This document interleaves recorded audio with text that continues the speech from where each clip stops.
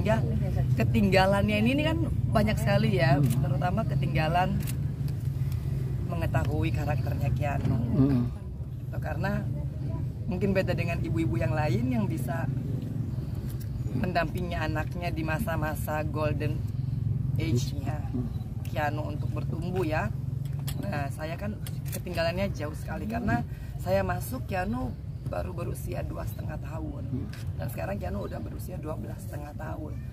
10 tahun itu kan bikin gap antara seorang ibu dan seorang anak itu jadinya sangat jauh. Keanu juga mungkin belum mengenal saya gitu loh. Dan itu yang memang saya paling sesalin karena akhirnya Keanu dan saya ini kalau orang bilang masih pendekatan lah. Saya harus ngeraba Keanu mau bagaimana gitu kan saya tahu dia masih punya jarak dengan saya dan dan sedih yang bikin aku selalu agak sedih Pendekatan apa Mbak yang sudah dilakukan Mbak? Mungkinkah setiap hari jalan bareng sama Kianu?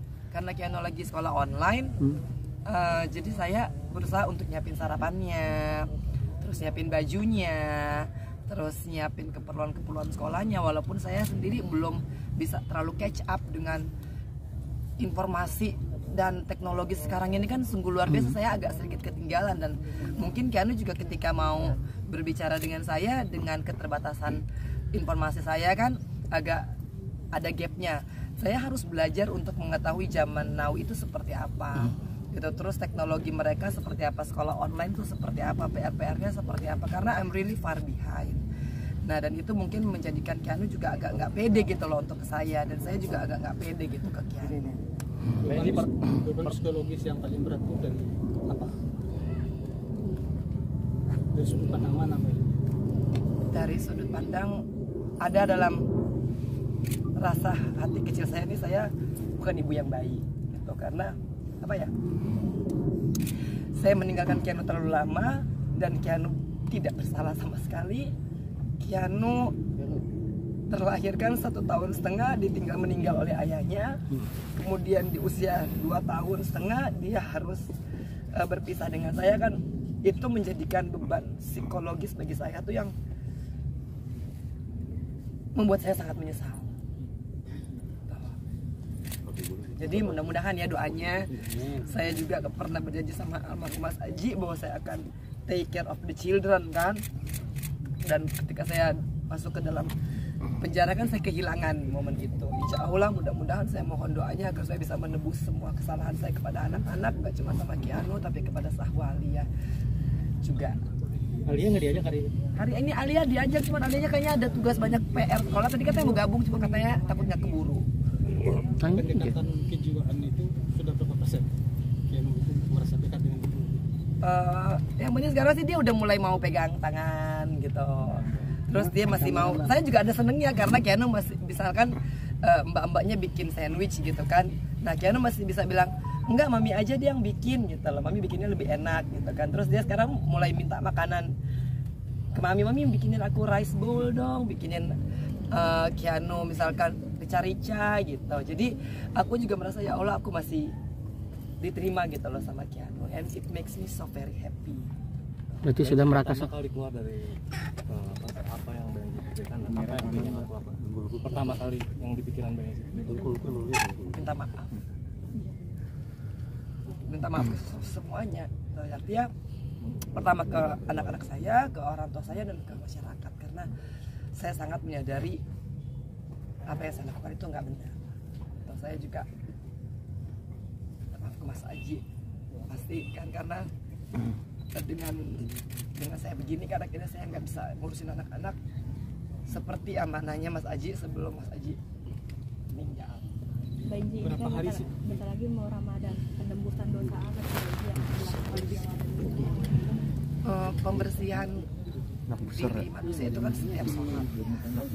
makanya kita lima hari eh lima kali sholat. Ini karena kita selalu mengingat oh tiga jam yang sebelumnya saya melakukan dosa apa dan kita istighfar. Jadi apalagi di bulan suci Ramadan ini sesungguhnya tidak hanya saja kepada meminta ampunan dosa tapi belajar menahan diri karena selama saya di penjara saya belajar bahwa bulan suci Ramadan itu adalah ujian bagi setiap manusia untuk menahan hawa nafsu yang selama ini membuat aku masuk penjara itu kan karena saya nggak bisa menahan hawa nafsu Tapi untuk kegiatan sendiri Mbak Anji akan melakukan apa dalam waktu dekat ini gitu? Kembali ke dunia hiburan gitu itu? Belum makanya aku mohon maaf belum bisa ngelayanin wartawan ataupun belum bisa tampil di TV TV karena emang eh, janji saya kepada diri saya adalah menjadi ibu yang baik buat Anu, buat Zahwa, buat Alia dan aku perlu waktu buat itu. Nah sekarang aja aku kan ada rasa sedih ya karena Kianu dia belum bisa menghadapi wartawan dia masih takut gitu kan karena mungkin selama ini kan eh, adalah dia merasa exposure dari wartawan itu apa?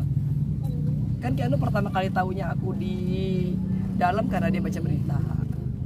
Nah jadi biarkan saya dan Kianu menyelesaikan permasalahan psikologisnya saya dan Kianu juga. Nggak cuma ke Kianu aja saya juga ada rasa itu. Makanya saya bilang ke Kak Muji Kak Muji saya bukannya nggak mau melayani wartawan tapi kayaknya kok aku belum ready gitu. Aku takutnya sekarang aja aku sekali kalau ngomongin Kianu aku jadinya nangis. Padahal aku tadi udah janji ke sini mami nggak Kianu juga belum "Mami, jangan nangis ya gitu.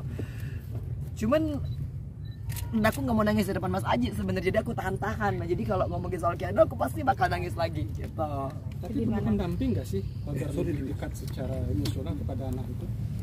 Ada orang lain yang pendamping? Eh, Kak Muji sudah menjadi seorang sosok ayah bagi Kianu ya. Artinya karena saya tidak bisa mengambil peran sebagai ayah Kak Muji itu udah berusaha bertahun-tahun lah mendampingi gitu ya. Dan aku bersyukur kepada Kak Muji juga yang menganggap Kiano seperti anaknya sendiri. Dan saya juga merasa lega ketika di penjara tahu kalau Kiano ada sama Kak Muji gitu. Jadi kalau nggak kan ya Allah itu pikirannya kalau di dalam di dalam penjara nih anak sakit anak cuman jatuh itu kita udah macam-macam kan pikirannya. Nah jadi eh, saya juga makasih karena adiknya Mas Aji itu bisa ngejagain Kiano selama saya di dalam. Di rumah itu saat pulang berapa lama atau berapa hari eh, Butuh penyesuaian. Sampai- itu butuh Iya betul-betul mengenal Oh ini mama, mama gue yang sebenarnya. Belum kayaknya. Masih belum? Nah, saya rasa eh, nggak begitu cepat ya Kiano untuk bisa mengetahui gitu kan. Jadi dia bercanda ke aku juga masih malu-malu gitu dan itu sebenarnya ngiris hati aku banget gitu kan. Karena aku merasa ya Allah gitu sampai sebegini ya makanya aku eh, buat para perempuan-perempuan udah